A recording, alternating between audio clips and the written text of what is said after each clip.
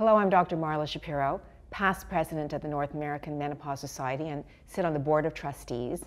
And I'm joined by our incoming and current president of the North American Menopause Society, Dr. James Liu. Tell everybody who you are and what you do. Well, I'm a reproductive endocrinologist and uh, I work with hormones uh, primarily in reproductive age and menopausal women. So when we think about perimenopausal women, menopausal women, they're becoming more aware of the fact that bone health is critical and often thought of as a silent disease. We have tools to screen. Let's talk about first what a bone density test measures. Well, the bone density test is a low density, low power x-ray that looks at the mineral content in a woman's uh, spine and her hip area. And? And it is uh, used to predict the amount of calcium in the bone, which gives it strength. So it's a uh, rough indicator of fracture risk. So as a healthcare provider, we're often barraged by women of all ages that want to have a bone density test. It's, it's not a high risk test, it's, it's not difficult. Who should have a bone density and when do we as healthcare providers say, no, you really don't require one? Okay, so there's, there's some recommendations for who should get bone density testing. Uh, in general, for women that are healthy, uh, age 65 and older should get a bone density test as a baseline.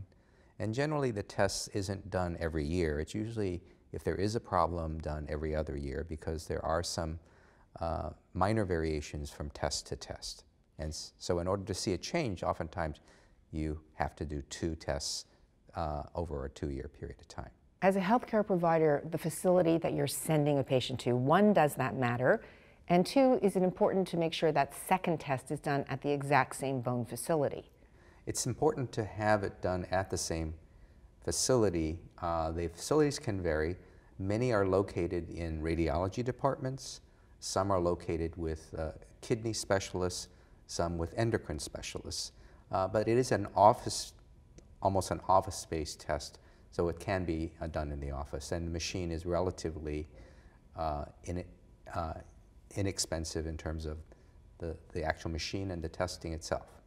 But if you do one in this office and then you go do one in the other office, can there be variability based on the precision of the machine itself? Definitely, and uh, even though there are standard things that they do to try and calibrate the machines, there are differences uh, even with the same company making the same type of machine.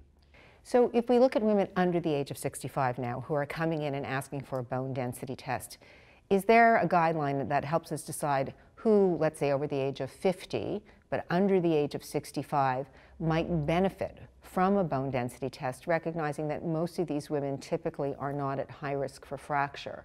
So there are some historical things that you can use uh, as additional criteria. One would be a woman who has had a low trauma fracture, that is, she doesn't fall from a, a big height. Maybe she was kicking a soccer ball and all of a sudden had a, a fracture in her foot. Uh, a woman who is on uh, a variety of uh, steroids, like women with rheumatoid arthritis or lupus. Uh, the steroids would be prednisone or uh, cortisone acetate or any of those things. Those women are at particular risk. Women that are low body weight, those individuals uh, are, have an eating disorder and have had a past history of very low body weight, have a lower bone mass to begin with, and they are at risk. Young women now who are put on, for example, some of the newer aromatase inhibitors well under the age of 65, what do we do with these women in terms of thinking about bone densities? So aromatase inhibitors prevent the production of estrogen very effectively and obviously used for breast cancer patients as a long-term therapy for up to five years. And in these women, the bone loss is significant. And the problem is that it is silent, so it's unknown. Uh, obviously, we can treat these individuals to preserve their bone with non-estrogen containing compounds. So it would not impact on their prognosis for breast cancer. In terms of bone density, doing the hip and the back, what other sites? Why is it that we don't do the wrist or we don't do any other bone sites? Well, the, the weight-bearing regions are the most predictive in terms of fracture risk. Uh, there are some uh, studies that show that the forearm may be predictive, but that's an alternative site. So for someone who may have had, let's say, uh, rods put in their back where you can't do a spine density accurately, or have had a hip replacement, or any of those things, then a surrogate site would be the forearm. As many of us get older, we develop arthritis in our back and we get a false elevation in that bone density. And the bone density then doesn't necessarily predict fracture risk or tell us anything about bone quality. Is there a time where someone as a healthcare provider should say, well, you know, this, the bone density really isn't offering me any more information? Yeah, generally the, the back gets less and less accurate as a predictor for vertebral fractures as you get older because of this condition, usually spondylosis or uh, prior uh, uh, changes in the back from osteophytes. Uh, and so that artificially elevates the bone density. Uh, the hip then would be the better site in terms of prediction for fracture risk. And, and the hip itself is not prone to as many false elevations as the spine. Future directions for measuring bone quality because the bone density doesn't tell us anything about bone quality. We have all, as practitioners, seen so-called normal bone densities, low risk for fracture bone densities, and then someone fractures. Where, where do you think we're going with that? What's going to help us interpret some of the tests that we do? There are research tests that predict bone strength, and they generally deal with 3D uh, enhanced uh, at the, almost the microscopic level uh, because it, the strength is really due to the connectivity of the protein matrix rather than just the calcium alone. So the calcium is really a surrogate marker.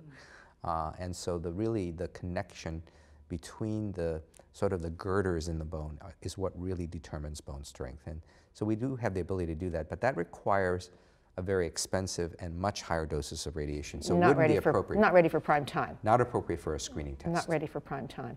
And um, overall, in terms of the role of bone density in assessing fracture risk, what else should healthcare practitioners be looking look at? You know, you've got that bone density result. Is it the only thing that we look at, or what helps guide us in our interpretation of, res- of a result that we get? So there are standard uh, tables for race, sex, uh, and so we can look at a scoring system. Uh, the one that uh, we use commonly is the T-score, which is a, um, a statistical standard deviation from the normal based on your age uh, and your gender and your uh, race. So there are specific tables that have been generated for what would be normal and what would be abnormal and uh, it's classified into low bone mass, or com less commonly called now osteopenia, and osteoporosis, which is two and a half standard deviations from the normal range. And so that's a very important component of predicting fracture risk. Yet important for young, healthy women to know that just that minus 2.5, what we now call an osteoporosis, may not be a threshold to treat. That's correct. And there are uh, what we call uh, intent to treat tables that we look at to look at the age and the changes in the T-score to predict which women would benefit from uh, bone sparing type treatments. Do you think that it's really important for us as healthcare practitioners to recognize the fact that this may be an important baseline screening test in part of what we routinely do because we often think about how often we're doing our pap tests and our mammograms. Often bone density, important to think about. It is important to think about and oftentimes uh, when a woman visits the primary care physician because she's by that age maybe transitioning to a primary care physician rather than her OBGYN. And so oftentimes this is one of the things that is not uh, mentioned in, in their screening or their annual exam. Obviously, you don't want to be doing this every year, but I think a baseline set point should be done at some point uh, if she is at high risk uh, after the age of 50, or if she is at uh, relatively normal risk at 65. Thank you so much. All right, thank you.